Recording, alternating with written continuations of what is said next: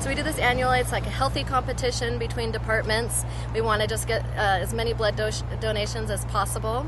And it's usually very successful, and it's been really successful so far today. That's what I hear. That always helps when you add competition. So, boots and badges. Uh, I've been donating since I got hurt, so I've been doing it quite a while. Sorry about the hairs. It's just no good way to do it. Well, it's fabulous for the uh, fire department and the police department, and it's an opportunity for them to give the blood that's so desperately needed in the area, and for those of us who support them to come and do the same. Badges, go badges!